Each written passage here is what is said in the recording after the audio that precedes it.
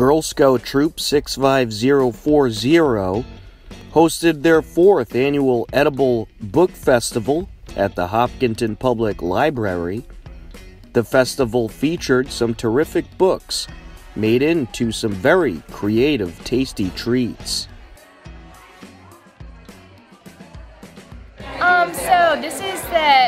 annual Edible Book Festival, which is a baking competition where people um, bake things that have to do with books, and then people vote on them, and there's a winner. It's really fun.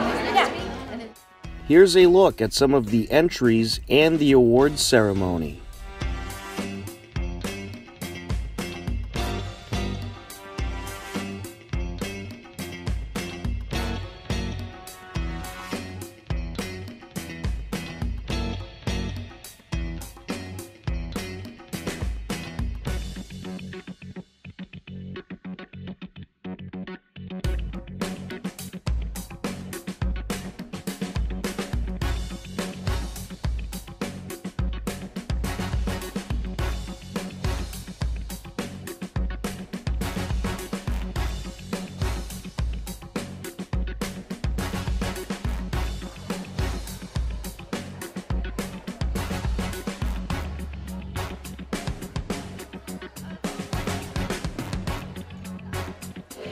Make this one?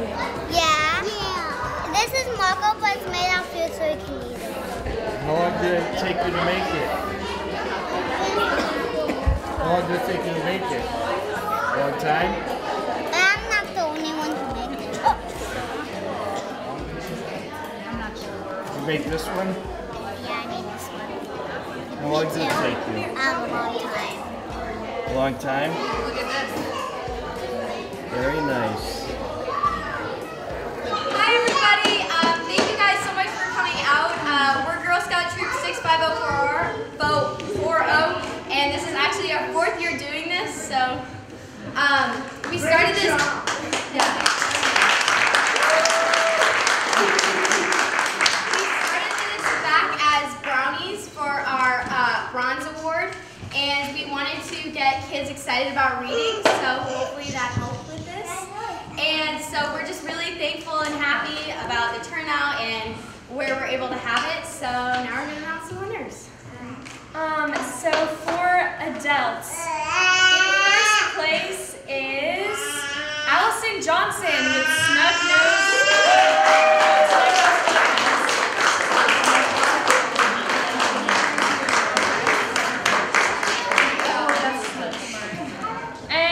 second place is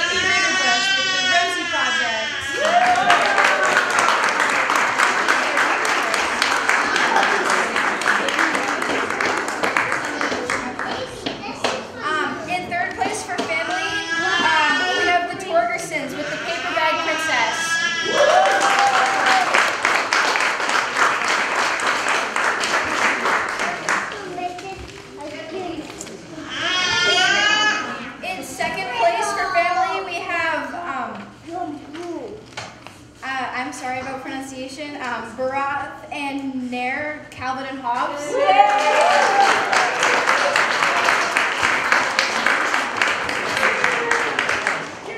And for first place for family, we have Madison and Joey Jones, Dragon